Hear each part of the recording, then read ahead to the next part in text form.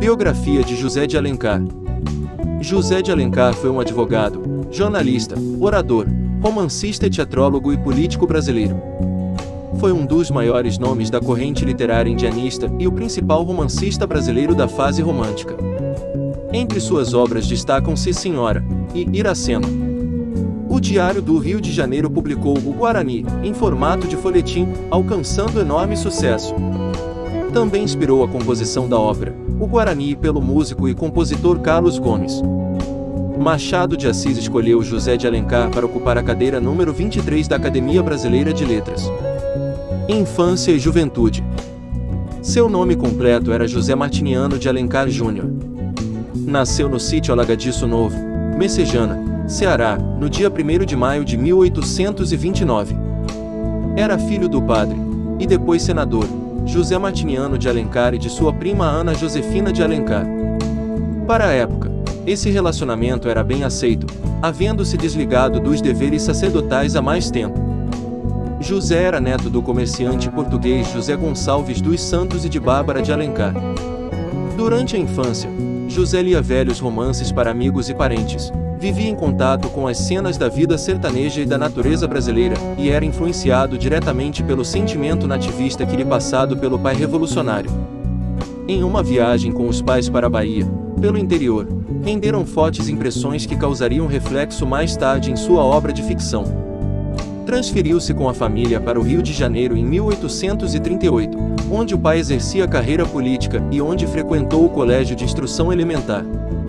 Com 14 anos, José de Alencar foi para São Paulo, onde terminou o secundário e ingressou na Faculdade de Direito do Lago de São Francisco. Foi convidado por seu colega de faculdade Francisco Otaviano de Almeida Rosa para colaborar no Correio Mercantil, escrevendo para o Jornal do Comércio os folhetins que, em 1874, reuniu sob o título de Ao Correr da Pena. Em 1844, ao ver o sucesso do livro A Moreninha, de Joaquim Manuel de Macedo, resolveu que seria escritor de romances. Entregou-se à leitura dos autores mais influentes da época, como Alexandre Dumas, Balzac, Byron, entre outros. Em 1847, com 18 anos, iniciou seu primeiro romance, Os Contrabandistas, que ficou inacabado. Em 1848 foi para Pernambuco, onde continuou seu curso na Faculdade de Direito de Olinda, concluído em 1851. De volta a São Paulo levou o esboço de dois romances históricos, Alma de Lázaro e O Emitão da Glória, que só seriam publicados no fim da vida. Se tornou redator-chefe do Diário do Rio de Janeiro em 1855. A sua notoriedade começou com as cartas sobre a Confederação dos Tamoios, publicadas em 1856, com o pseudônimo de Ig, no Diário do Rio de Janeiro, nas quais critica veementemente o poema épico de Domingos Gonçalves de Magalhães, favorito do imperador e considerado então o chefe da literatura brasileira.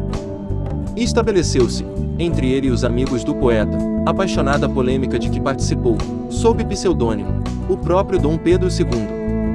A crítica por ele feita ao poema denota o grau de seus estudos de teoria literária e suas concepções do que devia caracterizar a literatura brasileira, para a qual, a seu ver, era inadequado o gênero épico, incompatível à expressão dos sentimentos e anseios da gente americana e à forma de uma literatura nascente. Optou, ele próprio, pela ficção, por ser um gênero moderno e livre. Ainda em 1856, publicou seu primeiro romance conhecido, Cinco Minutos. Em 1857, revelou-se um escritor mais maduro com a publicação, em folhetins, de O Guarani, que lhe granjeou grande popularidade. Daí para frente escreveu romances indianistas, urbanos, regionais, históricos, romances poemas de natureza lendária, obras teatrais, poesias, crônicas, ensaios e polêmicas literárias, escritos políticos e estudos filológicos. A parte de ficção histórica, testemunho da sua busca de tema nacional para o romance, concretizou-se em duas direções: os romances de temas propriamente históricos e os de lendas indígenas. Por estes últimos, José de Alencar incorporou-se no movimento do indianismo na literatura brasileira do século XIX, em que a fórmula nacionalista consistia na apropriação da tradição indígena na ficção, a exemplo do que fez Gonçalves Dias na poesia. Em 1858, José de Alencar abandonou o jornalismo para ser chefe da Secretaria do Ministério da Justiça, chegando a consultor com o título de conselheiro, ao mesmo tempo em que lecionava direito mercantil. Em 1860, com a morte do pai, se candidatou a deputado pelo Ceará, pelo Partido Conservador, sendo reeleito em quatro legislaturas.